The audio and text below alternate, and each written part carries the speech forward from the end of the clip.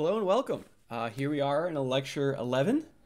We're going to continue where we've been covering the last time, uh, talking about how to use functional programming to uh, make our hardware designs uh, more generatable, more parameterizable, etc.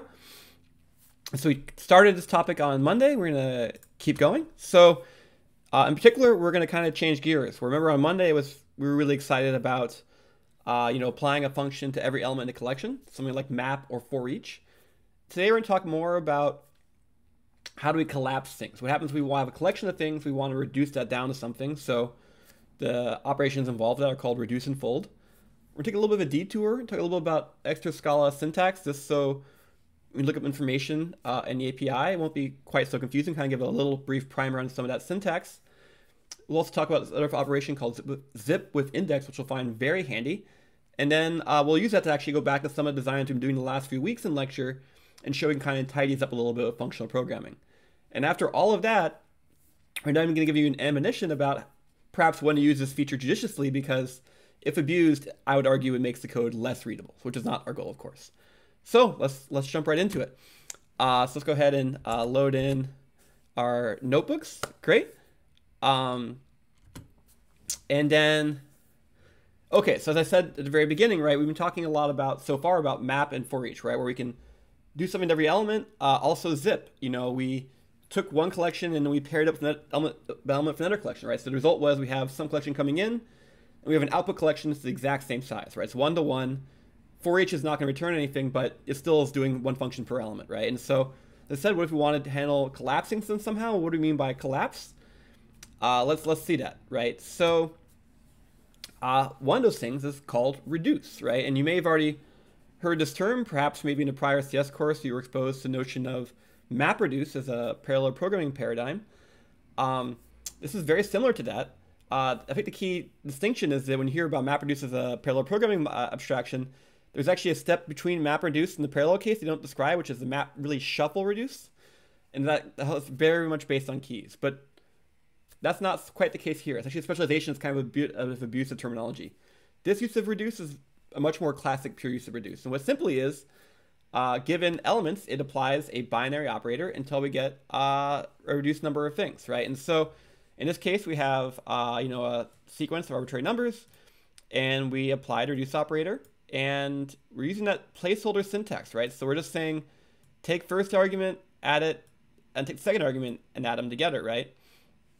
So as you can see here in this little example, we rerun it. Uh, okay, well, yeah, we can simply add up all the numbers in this list. That's easy.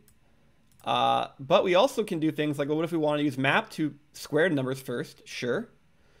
And then we have, you know, our squares, right? And then we can sum them up with that reduce, right? And uh, as you can see, this functional programming, there's a lot of different ways to express things in Scala. And it's kind of a question for us to figure out what's the way that's most clear. For example, I could be, you know, more verbose and change a lot of things, make this very, very verbose and say, okay, well, I'm taking in a function of two arguments and I'm going to return the sum, right? So that's uh, going to do the exact same thing. Uh, you know, it's not just about the space in the period. It's also about, you know, uh, in this case where the operation is hopefully pretty clear with the placeholders, maybe it really is more clear to placeholders, not just shorter. For example, in this later line, here we did it all as, you know, two lines. We kind of see what's going on. First, we make the squares and we did sum of squares you know, perhaps someone might argue, well, gee, I think it's maybe more clear to me if you did it all at uh, once, right? Which is totally valid. But is that more clear? I don't know, right? Uh, I think there's a little bit of room for uh, discussion uh, on this one. I would argue perhaps maybe this one, at least the name on it, makes it very clear what the purpose is, right? And that really kind of helps make it more readable. Now, if we um, look at this map, you're saying, hmm, why didn't I use the placeholder syntax here? Well, uh, the reason why I couldn't is I'm actually, I want to use this argument more than once, right? I want to use it i times i, right? So if I did this as, you know, like the placeholder style we just saw, I'm gonna go ahead and cut this so I can use it again. Uh, what's gonna happen is it's gonna yell at me, right? Because the first time I use a placeholder, right, it binds to the first argument. So I use a placeholder again, it's gonna be bound to the second argument. In this case, there's only one argument, right? So what's it binding to? Um, that's why, of course, the compiler is unhappy with me. Uh, and so sometimes, you know, you need this. Now, we could call, you know, uh, some sort of exponent function um, to try to maybe use only one invocation and it'll be fine. But, you know, sometimes it's not so bad really just to be more explicit and have the whole thing written out. Okay, I see a question coming from chat. I'm not sure I understand about uh, using a underscore with a asterisk. Uh, maybe that student can go ahead and clarify.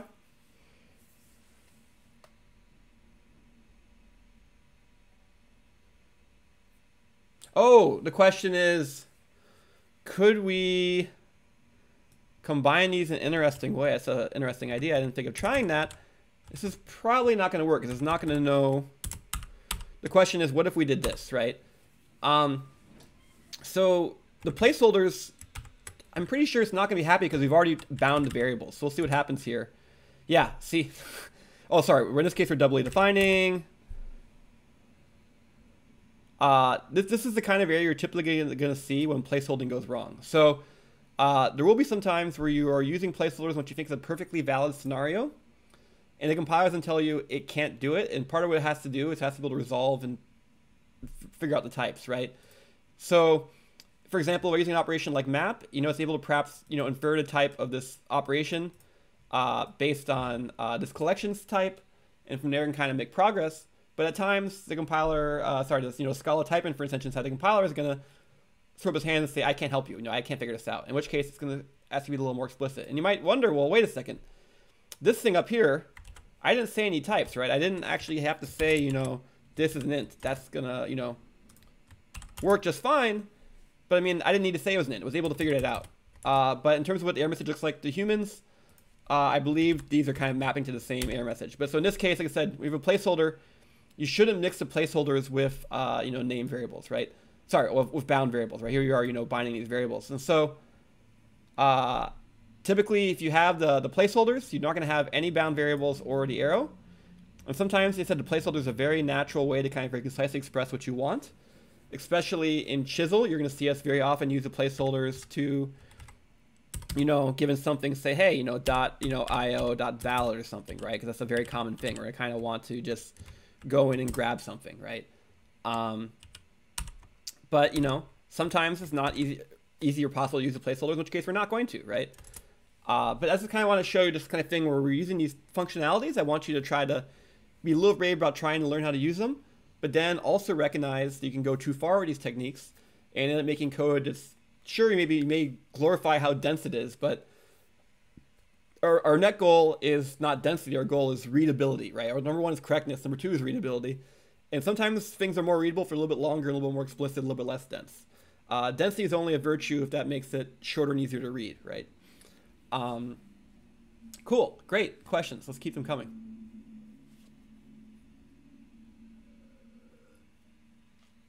Okay, let's let's go on then. Um, so if you remember from a prior lecture, we built our own arbiter, even though there's some built-in into Chisel, just kind of as an example to try things out. And uh, we went over this at the end of the last lecture. I want to do it again, make sure we're kind of seeing all the points. So remember we built our own arbiter, which essentially was a priority encoder, which was we're using to actually determine who wins. And then there's just lots of connecting work we need to do in Chisel, right? We need to kind of connect all these things up. We need to have, you have the coupled ports coming in for all the inputs. We have the coupled port for, for the output. So you kind of need to kind of connect all these things up. So they had a for loop here, quite a bit of work, and then quite a bit of hoop jumping, right? And then, you know, okay, this, this worked from before. And then if you remember at the end of last time, we tidied this up, right? We said, hey, uh, what if we throw some functional programming at this, right? So in particular, uh, what did I do? Well, this giant thing in the front, where I, first I just want to have all the invalids, right? So all the valid signals from our inputs, right? So we had to declare a wire of vec, and then we iterated through all the ports, and then we assigned, connected all these wires, right? But if, if all we want is just a sequence of these things, uh, we can do that, you know, much more directly. We can just map over the IO's requests, and then for each of those requests, we say, hey, give me um, the dot valid, right? And so here's a very natural use of that uh, placeholder syntax. Otherwise, I probably need to write, you know, p like uh, this which is totally fine. Uh, but I argue this is you know more verbose and less clear than just saying, hey, we want whatever things you're giving me, give me the dot valid field. Cool. Okay. we'll come to, uh, actually, I'll leave it like this first. This is how we had it on Monday. And we'll come to that field later, but let's talk about the other fields. So if we go back a slide, uh, then what do we need to do? We need to do, we need to set a default value for our readies originally. Uh, we also needed to build up this vec of bits. Um, and then we went through all this rigmarole of, you know, using a priority encoder and then outputting things. So let's go back, look forward and see what happens. Okay, so for um, with the priority encoder, we just need the invalids, right? So that's the same as before, right? If you go back a slide, uh, yeah, it's, you know, working on the invalids, great. But now for our output bits, right, we had to build up this mux one hot, uh, you know, feed in the chosen one hot, and then also feed in the bits, which we had to build up manually by, you know, having a vec of wire and connecting them all. Now over here, what do we do? Well, we take in the chosen one hot, but now rather than having to build up the entire vec, we're able to just do the same functional programming trip like we did before with the map, but actually in this case we just plugged it straight in. We didn't bother enabling the intermediate variable, right? We just said, hey, give me all of the uh, bits fields and let's make a collection of those. Boom.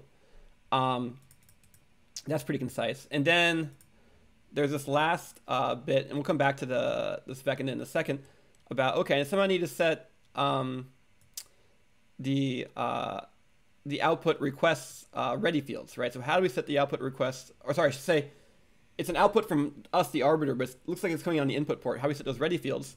Well, what we did, this example here, if we go back to the original, oops, sorry, if we go back to the prior page, uh, what do we have to do? Well, we set them all to false, and then we knew which one was selected. We went through the hassle of converting the one that's selected to a uint, and then we know the uint, we go ahead and you know assign that specific one true. So in this case, this particular design, taking advantage of last connect semantics, where we initially assign them all, connecting them all to false, and then you know we conditionally overwrite one of them. And which one we're overwriting is kind of set by this. It's kind of a quite a bit of extra hardware here, right? Where here we are saying, here we have this one hot thing. Now we're going to make it not one hot, and then we're going to go ahead and use that to index into something. Now, if we look at what we did on the next slide, kind of a much more parallel way of thinking about it.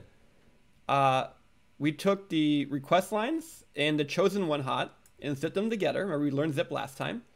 And then for each of those, right, so it's not returning anything. We're just going to do the pairing. So we have the input in that chosen one hot bit.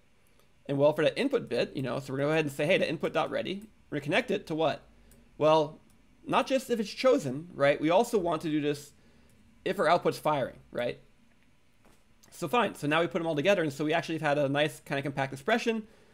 Um, so yeah, it's, it's not super obvious what's going on here, but I would argue it's still probably pretty reasonable, hopefully clear. This might be a little unintuitive on day one, but if you kind of keep playing around with these functional things and make more sense. Um, Okay. Uh, there's a concern about the audio. I'll maybe see a thumbs up from other people, make sure we're still getting a good broadcast. Okay, great. Thank you.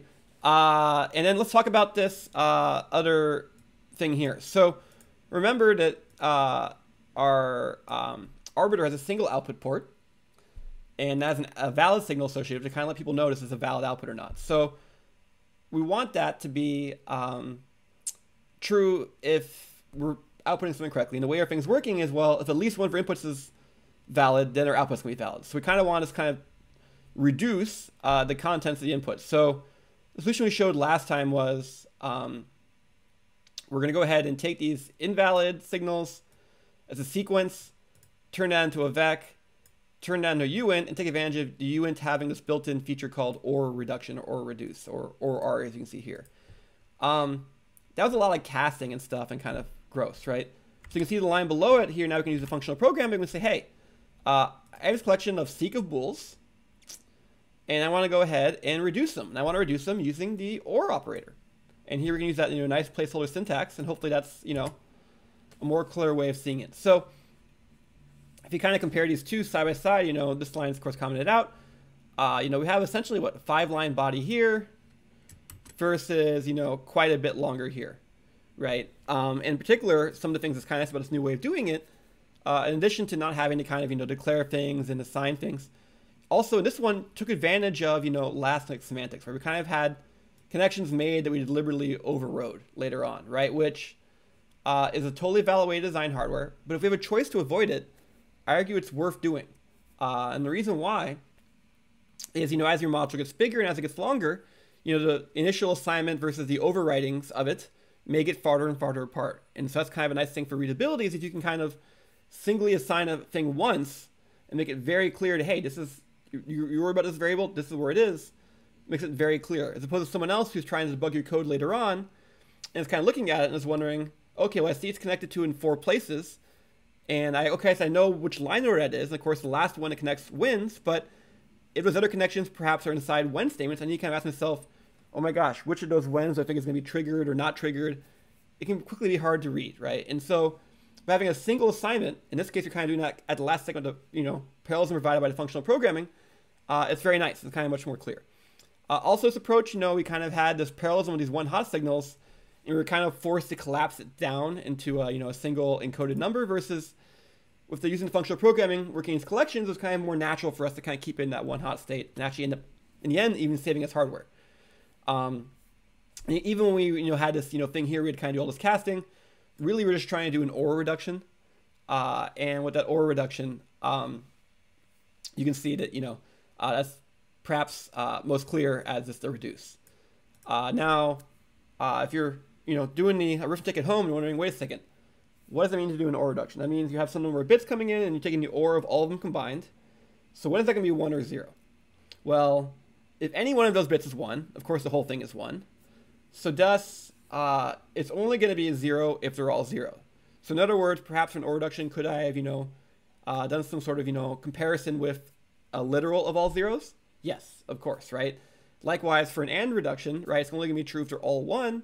Yes, you could, of course, compare to... Um, a number of all ones in literals, for example. But uh, these reductions are kind of still a very helpful thing to have. That's why they're built into uint. But we also, of course, can, even if it's not built into our Seq bool, we can use the functional programming to do it. Okay, a lot happened here, so maybe we'll pause for questions uh, on this thing.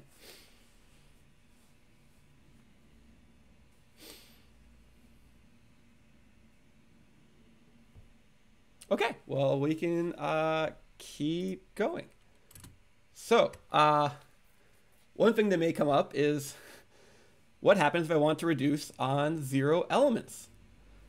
Um, that's a kind of a question, right? We, we showed you a second ago, okay, yeah, we're reducing. All right, uh, if I have two elements, I apply the operator and I get one element, and that's good, I'm done. If I have one element, well, I don't need to apply the operator, I can just use the element. But if I have zero elements, what's the return type? You know, what do I return? Um, or uh, what happens if I want to do a reduction like operation, but the result is not the same type as the input element type? Um, there will be times you want to do this quite frequently. So the answer is we need another operator, uh, and that's going to be uh, fold left, right? So what we're going to do with fold left is we're going to give you an initial value and a binary operator. Now, it's similar but different than reduce, right? So reduce kind of took two elements in. Um, and they're kind of treated equally, and it had took those two binary elements and produced them to create one new thing. Fold left take a function. However, it's going to work on kind of like a total so far, so to speak, some sort of you know accumulated thing so far from producing uh, iterating over this collection, and then the current element, right? Uh, so actually, if you you know look deep in, deep inside, uh, you could probably pretty cleverly actually implement reduce with fold left, right? Um, but said the kind of key thing we're going to use fold left for in our case is there's a few things we're like it for. One of them is the fact that we can have different types. And another thing we like about it is it's very deliberate about how we can go through it. Uh, reduce doesn't give us any guarantee about the order in which we're processing elements. While with fold left, we're saying, no, we want to do it in a certain order. So here we have a you know tiny Scala example. Uh, and so we give it that initial element in the first parens.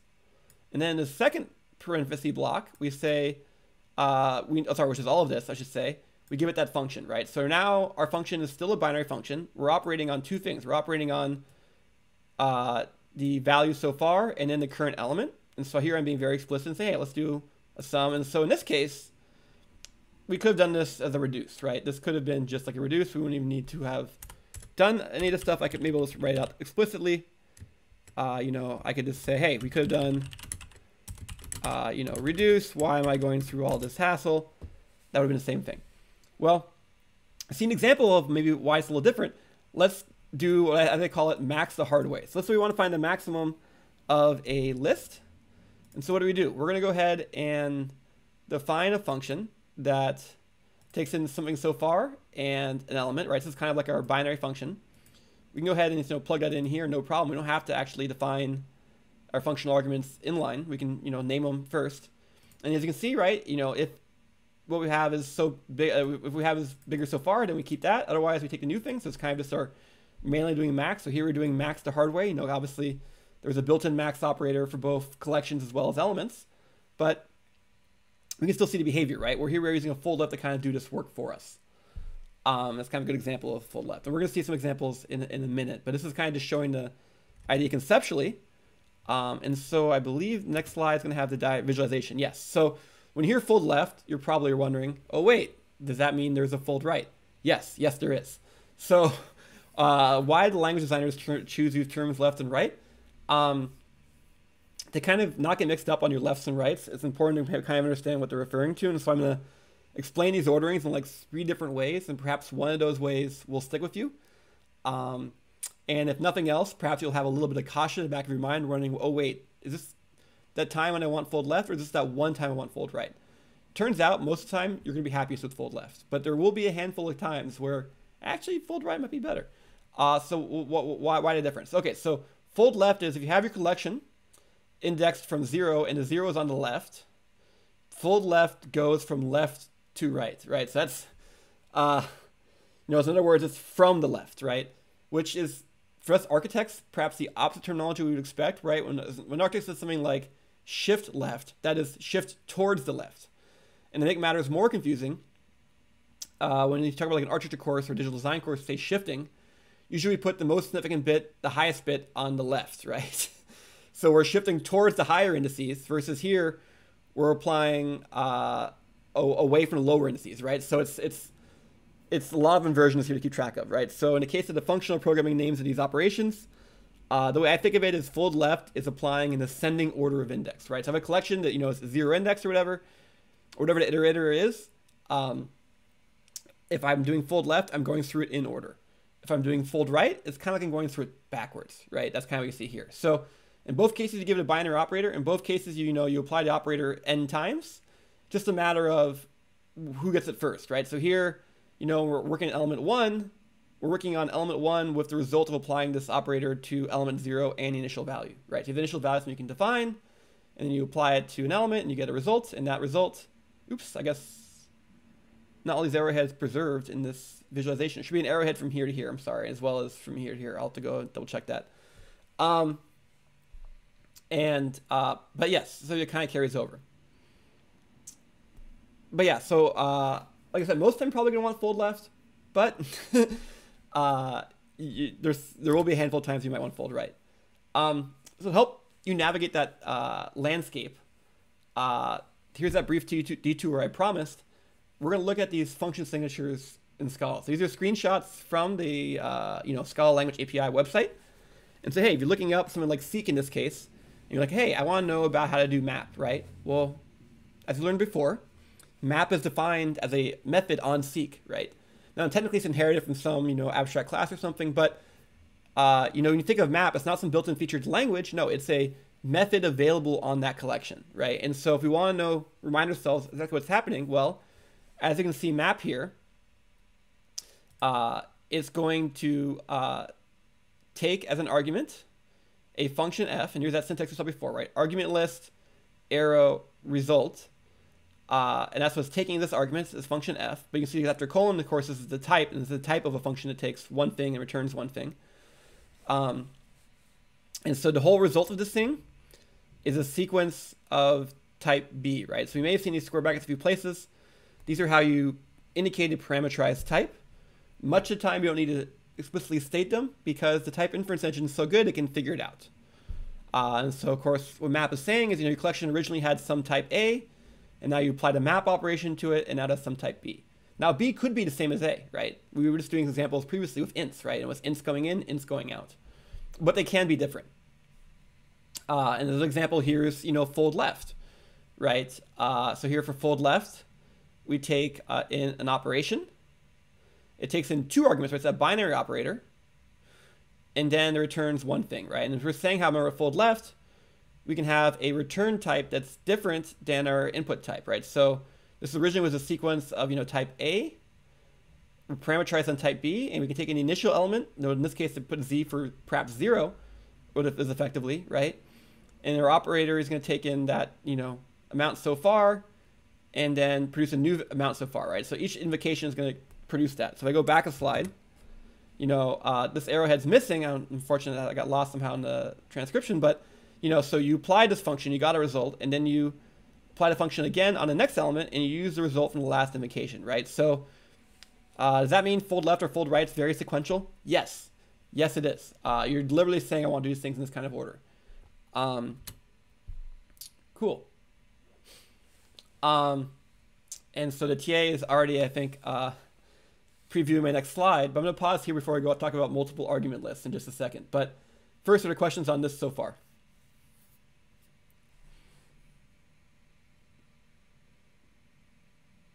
Okay, well, as the TA foreshadowed, uh, you may be wondering, wait a second, why does, you know, fold left take in two sets of parentheses? Uh, that's something called currying. So this is a, you know, uh, concept far beyond Scala, but, you know, it's available in Scala. And what it is, we can um, start and kind of encapsulate multiple functions, right? So we can have multiple argument lists to a function.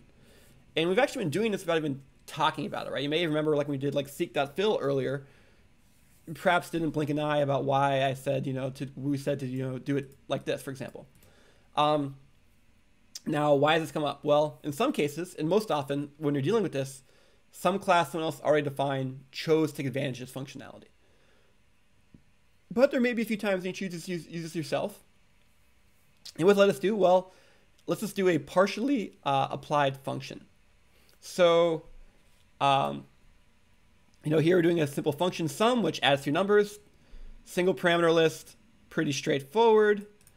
But now what if we break that parameter list up? And instead of doing the sum of two numbers, what if I want to make a function that, you know, I can pre-code and partially apply, and that's of those arguments is bound always, and the second argument is the variable, right? So uh, maybe I'll go ahead and make this uh, like a proper function, and we'll uh, hide these for now. Oops. Uh, too many uh, hotkeys. Right, so, uh, you know, define some functions, and hey, if I define, wait, what is f? f is a function from int to int. okay, and so yeah, if I want to do like f of 2, no problem, right? I, I've created this. what's interesting is basically I've created a function f, which, you know, as you can see from the type signature here, int goes in, int comes out, you know, we applied a single argument, we got the number 3 because I added 1 to it. Um, so in other words, we've made a function that created a function, right? Uh, and so that's kind of what we're doing here with this currying, right? So kind of a partially applying this function. We made this more sophisticated function, and we chose in this case to, um, and it goes, you know, applies these ones first, right? So we applied this one first, and we made this new function bound to f, which was basically had this thing already one kind of predefined, right? And so, uh, as we saw on the prior slide, like fold left, that's where that syntax comes from where we have, you know, uh, this initial thing over here. Uh, and, uh, you know, there may be sometimes you want to play with it, right? So for example, here we didn't even bother naming it before. We just gave both arguments. Totally fine. Uh, and another time we may choose to use this. And um, so we have a sequence and we're, you know, mapping uh, a function. Remember, we are, when we apply map, we need a function takes one thing in, returns one thing. Well, you know, uh, plus x if only one of its argument lists applied, still as a function takes in an int and produces an int. And that's why it's totally fine to do this, right? We can make this 10. You know, that works just fine. Um, this is kind of interesting, right? This is currying. Uh, and so the reason why I'm covering right now in the lecture that says you've probably seen syntax like this before already. We have multiple argument lists. Uh, don't freak out. Um, but there may be times when you choose to do it yourself, right? You want to make a function where you can kind of like partially apply it in advance and then go with it. Uh, and then uh, the question is, what happens if I put the underscore here? This is probably going to work. Actually, it's not. Uh, so what, what's happening? Um, the, the reason why this question was asked was implicitly asking why did I put the underscore here? This is a little wrinkle in the language. Uh, I'm not pleased about it. But basically what it is is if you have a partially applied function, the type inference engine isn't necessarily clear that it doesn't necessarily know you mean to have a partially applied function. So this underscore is a way of saying, hey, I'm partially applying this function, recognize this is a function, and do it. I suspect if I took this off, but made this clear that this was something that took in an int and produced an int, it would still do the right thing. Yes, right? But if I didn't have that there, it's going to complain, right? And here it's even telling us, right? We need to make it that conversion clear by putting in that uh, little trailing underscore. Using this trailer underscore like I did here, you will need to do so rarely. Um, I've virtually never done in my career or had to do it very rarely. Uh, I just did it here for the example, but um, most times if you're going to take advantage of currying, it'll work pretty naturally because the place you're going to be applying it is going to expect based on the context, it's going to expect the function, and it's going to give the right information to type inference engine, and it's going to do the right thing.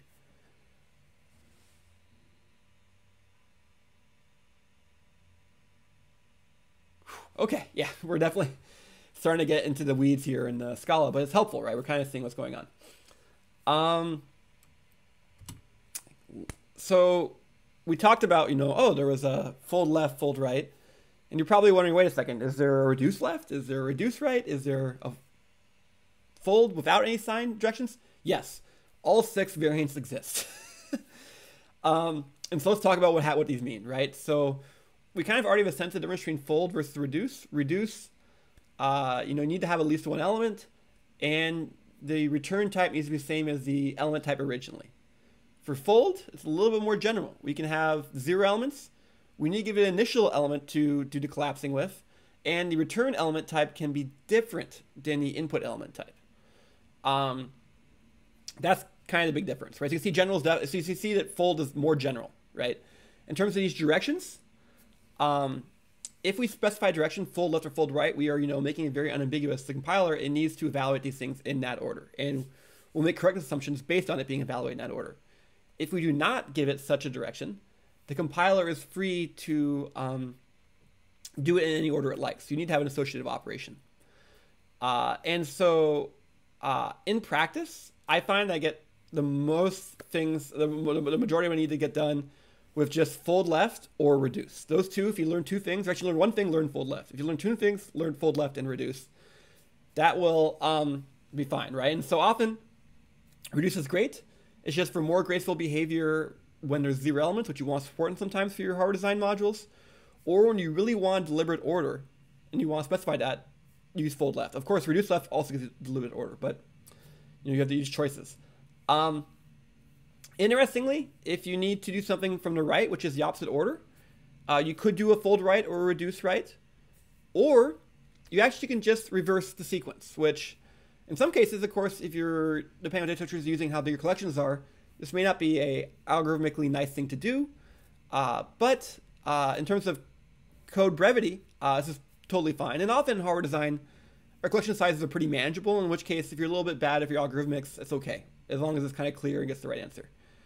Um, and so, yeah, you have it. So you might be wondering, okay, well, why, if there's directions, why should I ever leave it unspecified? Uh, number one, it may not matter. It's kind of good to kind of convey that.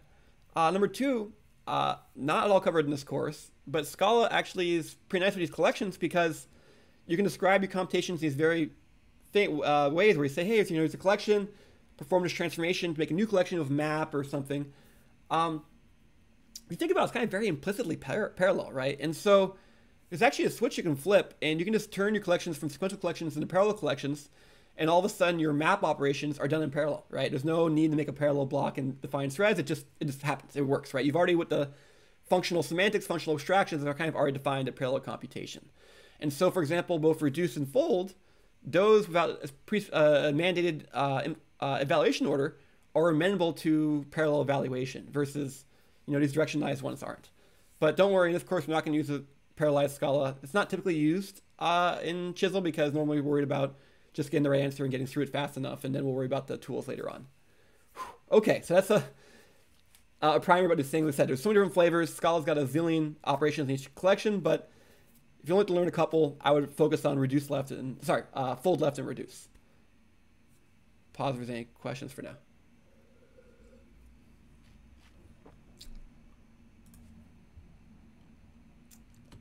Okay, so let's uh, keep redoing things using these functions. So maybe remember uh, a few weeks ago we talked about a function I called reducer, and what did it do? Well, you gave it uh, n things and it added them up, and because we had you know such primitive tools available to us at the time, we you know used a for loop with a var, and we simply you know kept adding things together. And you now reduce, of course, uh, you know we can redo this, uh, and it's going to work just fine. In this case, it's a nice use of reduce because the way this module is defined, we already kind of were expecting n to be greater than zero, so reduce works fine here. So we you could make, you know, this of one, and it just passes through naturally. If you make this, you know, say four, and not get too carried away, it's going to do the appropriate uh, carries for us and stuff. And so this is pretty nice, right? This is this is so simple that if you're using this in practice, you probably wouldn't even bother defining a, a module for this. You probably just put it in line when you need it, right? And that's kind of point. Kind of this functionality available to us is very handy to kind of put things together. Um, okay, another module we're going to redo. You may remember when we had this uh, delay n cycles module, right? It was, you know, n registers put together in series, so that way we could delay something by n cycles. We told you this is, you know, perhaps referred to as, you know, shift register, or in the Chisel util library, it's called a pipe. Uh, so before we had to use a helper function, we did it with a var and a for loop. Here we did it with a helper function. Uh, and once again, we can do this. Now, unlike the prior example, we do care about the order, right? In the prior example, we were saying, oh, well, addition's associative, so we can add up whatever order the compiler chooses. Here, the order matters, right? Because we want to make sure we're kind of connected in that sequence that's linear rather than some, you know, arbitrary tree or something. Um, so we're doing a fold left, right? So for our fold left, our initial condition our initial value is, you know, um, the io.in, right? And then what do we get? Well, we are going to, uh, you know, remember fold left takes in two arguments of binary, so things so far, and then um, the element, right? And so uh, in this case, uh, the element's not needed. It's kind of almost like a, a weird relic because I did uh, arrange to get the right number of things. But that little wrinkle aside, uh, really what matters is we're kind of passing through um,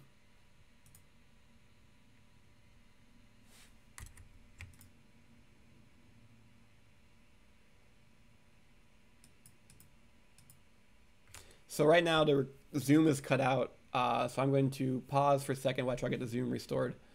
So yes, these of you are going to begin recording and getting a little bit of a more accurate play, but the zoom just cut out. So I'm trying to restart the zoom.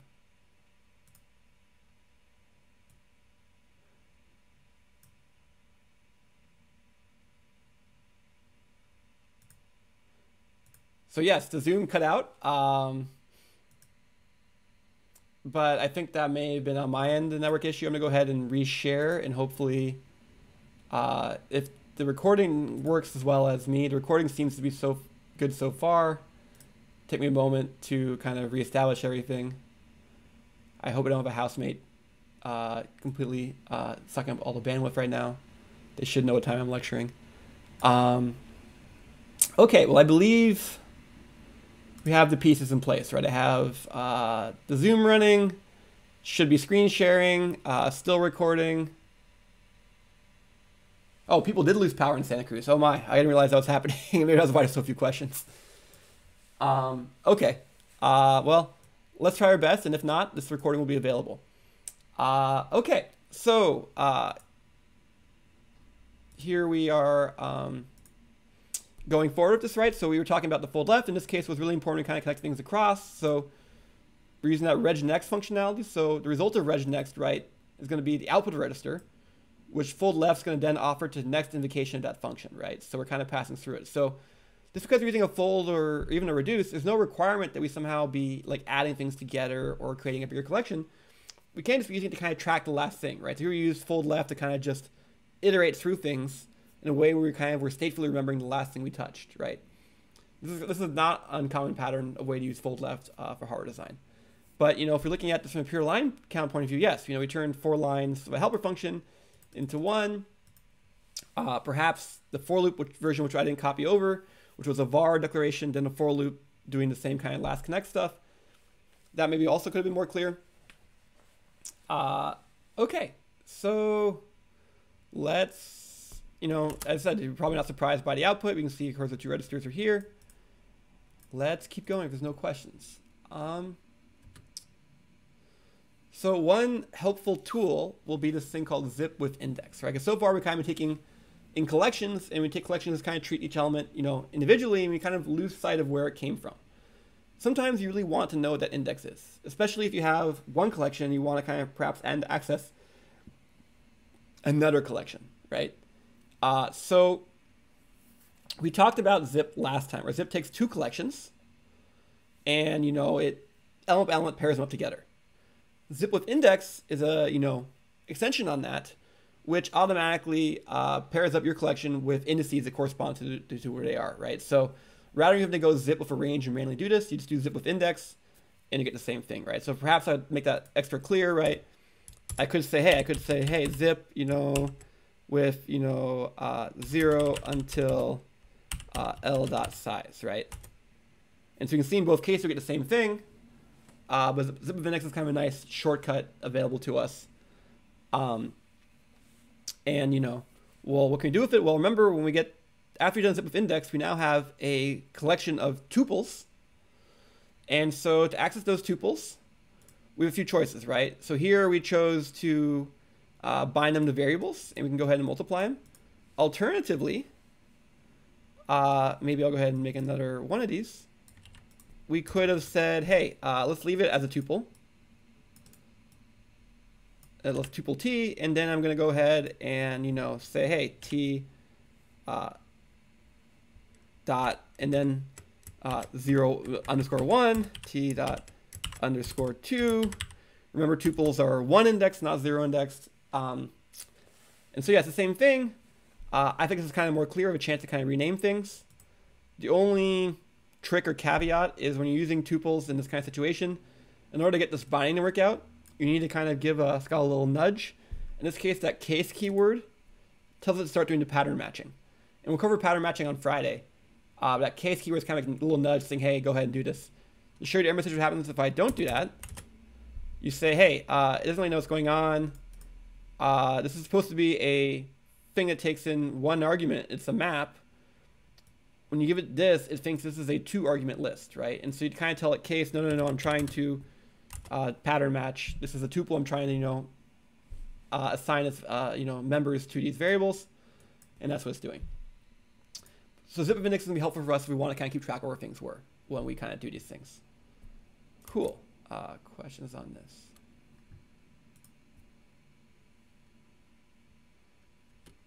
Okay, so maybe we can go start. Um, tweaking more things. So remember, we built our own one hot priority coder last week.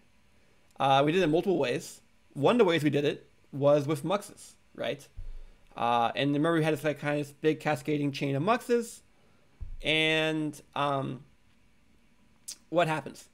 Uh, well, this big cascading chain of muxes, uh, we did it with like a helper function recursively, and it worked out just fine. We'll go ahead and uh, uncomment that, and we'll just run it. And, you know, uh, Oops. I'm going to take a 1 minus so we can see the stuff better. Uh, yeah, and, you know, we get the right answers. Here we're trying to see what's the priority of these things. You know, um, the zero case is kind of a special case, but, you know, uh, the upper bit only wins when the lower bit's zero. If the lower bit's one, it's going to win, right? That's the priority encoding. We're saying the least significant bits in terms of lower indices are actually going to win in this case. So now when I redid it with the FP style, what did I do? Well, let's talk through this. And there's actually a bug in here, and we're going to fix it together.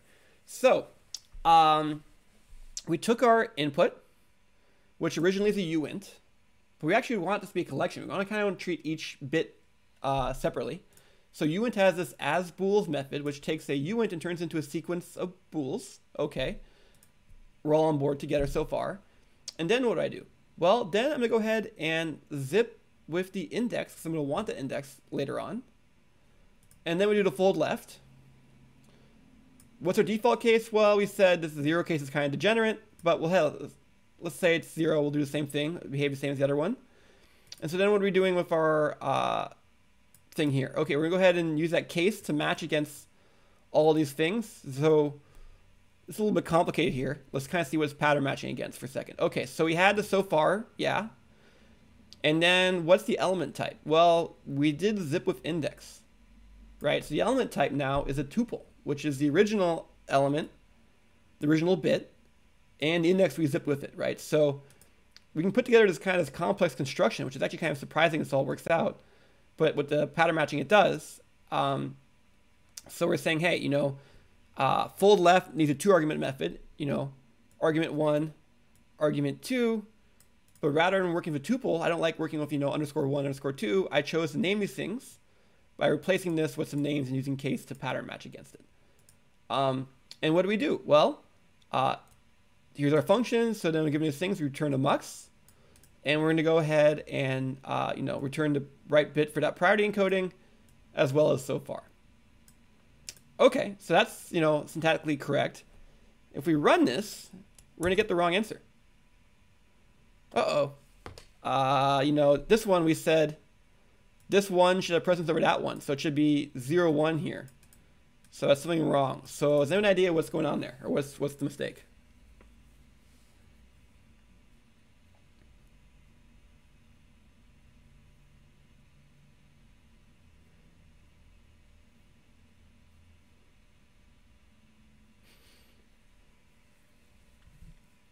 so the, the issue is uh, we used fold left correctly, but we might have been asking to do the wrong thing. Uh, building a long cascading chain of muxes is what we wanted. That's what we did. But if you think about the cascading chain of muxes, you got to think of who takes precedence over who. Uh, the answer is uh, the mux for bit zero was first, right? We did fold left. So we started from zero and then uh, it became so far and now it's passed on to the bit for mux1 and now it's passed on to the mux for bit 2 etc um, so as a result we've actually kind of made this the lowest priority right? So uh, one easy solution would be like oh shoot i probably should have reversed these. And yeah that's gonna fix it for us. Cool. Uh, and then of course the other way of solving this um, is the thing we told about, talked about earlier, is like that one time you want fold right. Now I want to demonstrate this because you're going to see this error message and you're not going to know what it is. But I want to expose you to it. So, wait, it blew up, right? It, shouldn't they be able to plug in fold right? Um, not quite. So in all of their cuteness in Scala, they flip the order of the arguments to the thing in the fold right. So for the, the binary operation in fold right, now the thing that's so far is on the right because here's fold right. So I have to do it uh, like so. And then it should be happy. And we get the right answer, right? And think about what's happening here, when we're saying fold right, really, you know, we're starting with the highest index and going down, right? But for this particular priority encoder where we decided that we wanted bit zero to have the highest precedence, we want that mux to be last, right? We want that mux if it's chosen a certain way to, you know, completely overpower everything else. That needs to be the last mux. So either we could have done a dot reverse or a fold right. So now we've kind of seen both ways. Uh, I always find a little weird dealing with fold right, so I'll probably would have done a fold left with the reverse. As long as this isn't super big, the reverse is not going to uh, kill us. Uh, oops. Uh, and better yet, uh, I don't believe the reverse is going to cost us any extra hardware. Uh, it's not. There's still two muxes there. Uh, and if I made this uh, bigger, I'm still pretty sure we're not going to see like something weird going on. Yeah, there's no bit reversing actually happening. It's just the way it's evaluated inside the Scala. Whew. Okay.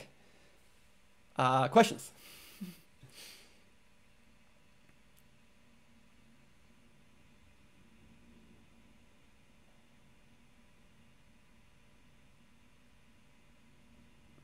So the question from chat was, could I have done this with just fold rather than fold left to fold right? Um, I'm not gonna say no because I, I, I can't imagine every possible outcome, but uh, I, am not sure it's that easy to do because in this case, we really want that deliberate ordering for precedence, right? We really want to have things kind of take control over each other. And so if the evaluation of the folding is um, not quite the same, how can I make that happen? You might be able to do that with like a equalities test. Ah. You might be able to. You might be able to have a different kind of muxes where you don't care about the order in which they're cascaded. This particular uh, topology we're designing, the way we kind of did originally for even our recursive helper function, we had a very particular topology we wanted, in which case we kind of got forced into having either a deliberate fold direction chosen, but I think if we had a more arbitrary fold application, you know, order, it might be possible. But yeah, I'm not sure what is right away, but I'm not going to say it's impossible.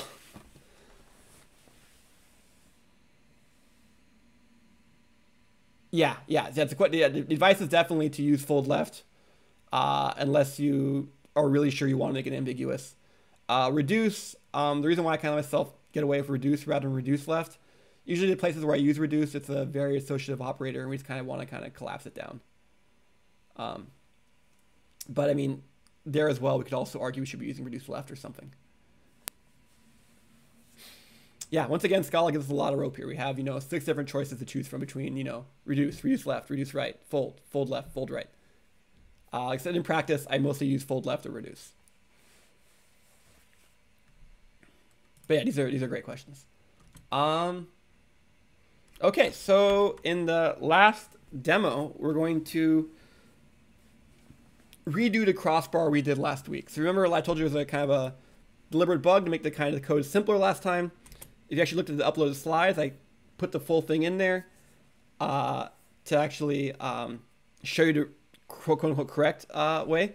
So uh, remind ourselves this crossbar is, right? Some device that has some number of ports, uh, some number of inputs, some number of outputs, and um, people can try and send a message is our type we're sending, right? Which has an address, which is a port number and there's some data payload. And so, you know, a single message, you know, we, we can see defined here. You know, our entire crossbar had its I.O. We had some number of inputs, some number of outputs, and a message size. And of course, we had a vec coming in of messages and a vec going out of messages, and they're both decoupled, right? So for input decoupled, it's a flip decoupled. For an output decoupled, it's just decoupled. Uh, okay, so yeah, we can go ahead and redefine that. Let's see what we're working with. So uh, maybe I'll first uh, invert these. And so I'll leave it with the for loops we had from previously. Uh, and so let's talk about what this is doing, right? So we are saying for every output port, we're gonna have an arbiter, which is choosing which input port connects to the output port. And then we had all this work, right? Where we wanted to, for all of our input ports, we need to kind of connect them up properly to the arbiters, right? Uh, we need to get the output from the arbiters about which ready is selected back to the inputs. And we also needed to let an input node one, right? It could be the case that if multiple input ports request the same output port, that, um, you know, one of those input ports is not going to be allowed to transmit because the port it didn't win the precedence ordering for that port. And that's why that ready, that back pressure signal needs to be propagated back out. And so uh, an input port could be connected to many ports, right? output ports. And so which of those are ones? We're kind of taking the OR reduction across them. That's what we did here. Uh, and then for the output ports, what do we do? Well, for every output port, we connect the arbiter to the output, sure. But then we also need to connect all of the inputs to all the inputs to the arbiter for each output, right? So there's, this nested loop here, right? Remember from the diagram from last time, it's kind of a lot of wires. Um, so let's go ahead and we can go ahead and find this, sure.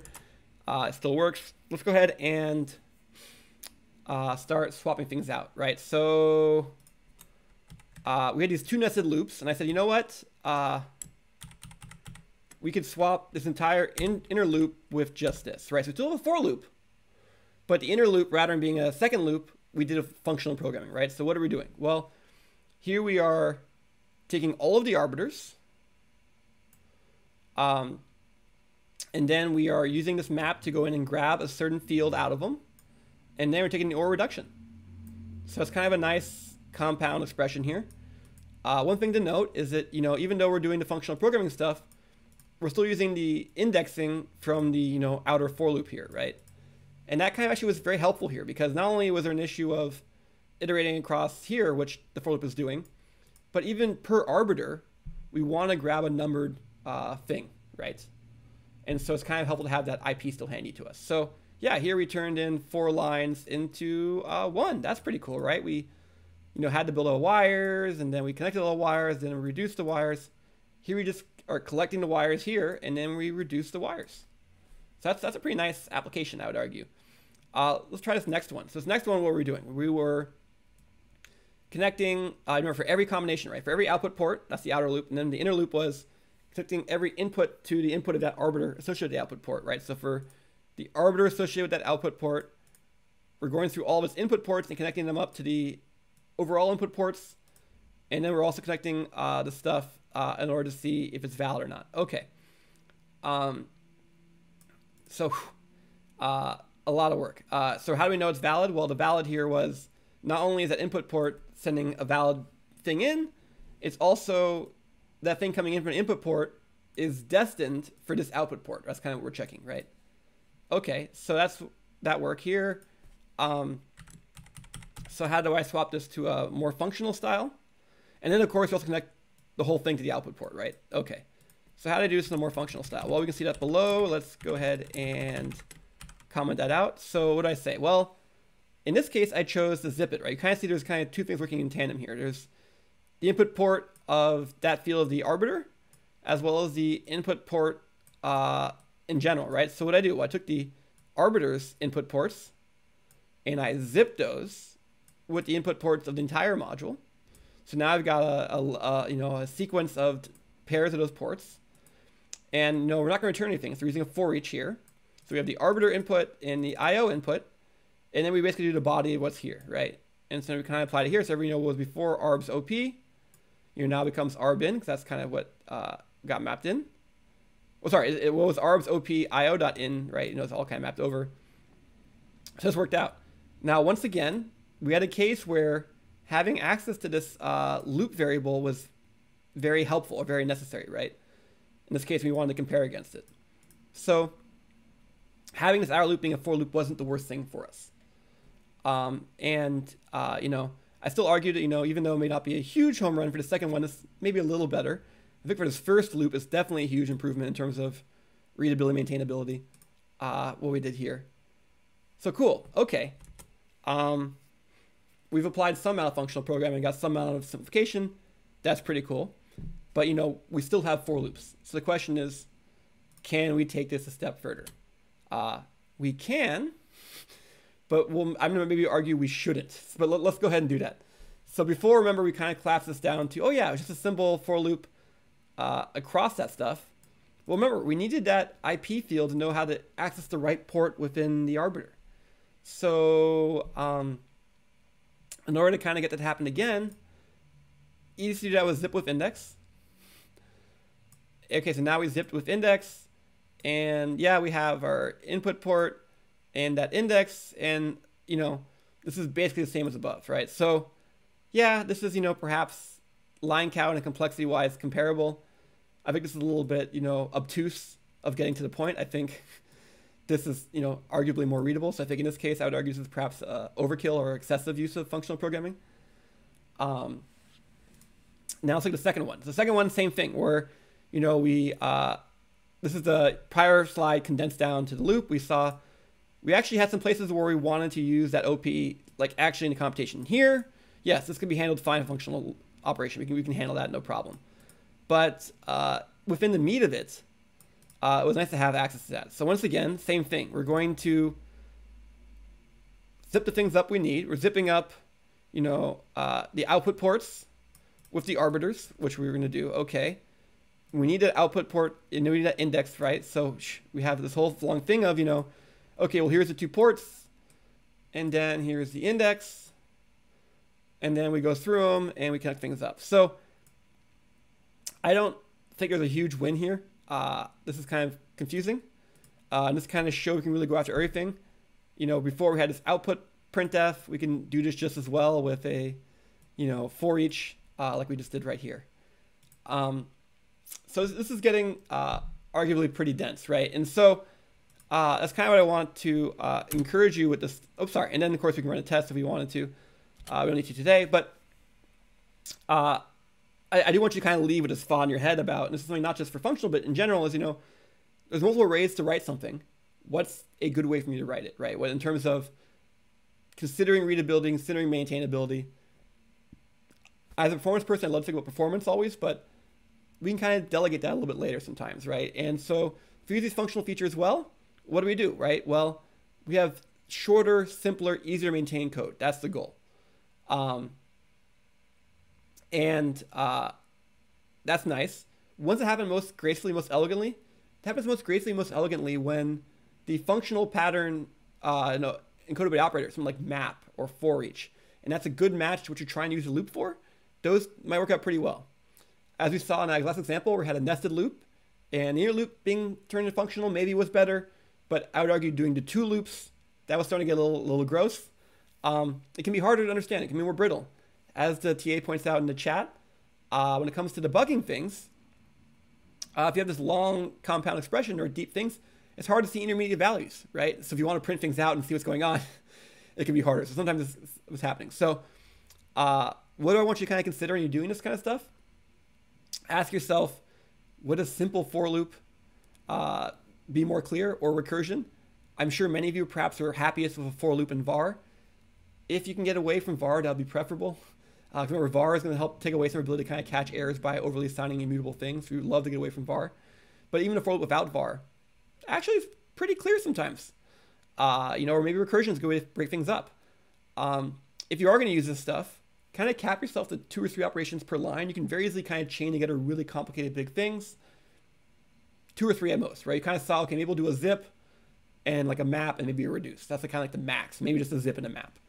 Um, and also you saw in that last line, part of what made it so confusing is we had multiple lines in those function literals. When you start having multiple line anonymous functions, you can do that, but maybe it's worth naming the function properly and then calling it. You can totally call a name function for a for each or a map or something.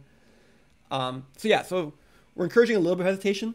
I encourage you this week to try to push it when you're doing assignments for this week, when we're doing like the labs and the homeworks, to try and see if you can get used to learning the style uh, and kind of play with things. But as you're kind of going forward in the future, definitely think about a little bit of judiciousness and carefulness about uh, when it might be most appropriate. Okay. Uh, any closing questions?